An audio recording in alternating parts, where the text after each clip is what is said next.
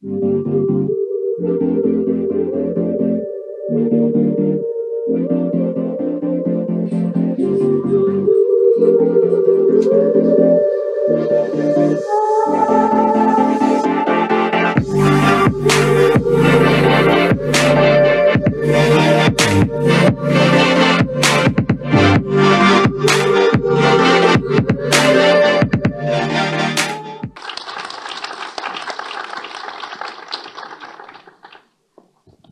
Bonsoir Fouzia, bonsoir chers amis, merci d'être là euh, pour cette matinée qui s'annonce euh, assez passionnante compte tenu euh, de la thématique euh, qui n'est pas nouvelle mais qui se complexifie. C'est le rôle de CB News d'organiser les débats, de décrypter les tendances.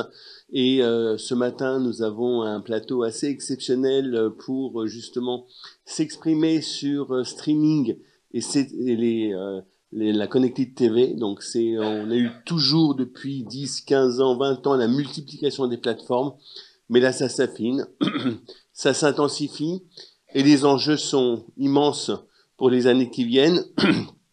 Moi, mon rôle aujourd'hui, c'est vraiment de vous souhaiter la bienvenue et donc je cède la parole à Fouzia en attendant cette matinée exceptionnelle en termes de contenu. Merci en tout cas d'être là et merci aux partenaires qu'on va saluer tout au long de cette matinée, sans qui nous n'aurions pas pu organiser cet événement. Merci. Merci Franck. Bonjour à tous. Impossible, en effet, de passer à côté de l'essor du streaming TV et de la CTV. Le sujet a monopolisé l'attention du marché durant toute l'année 2024.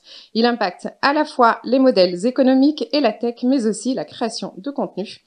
C'est le futur de la vidéo premium qui est actuellement en train de se dessiner sous nos yeux.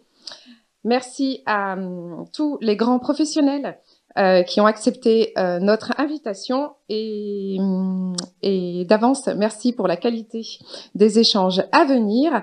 Permettez-moi de demander à Clément Fage de nous rejoindre sur scène. Ce sera notre maître de cérémonie pour cette matinée. Merci Clément.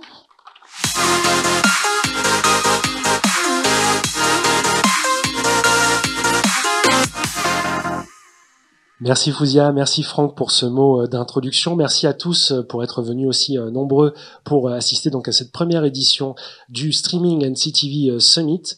La matinée va être dense puisque nous sommes ensemble jusqu'à midi 30 sans interruption.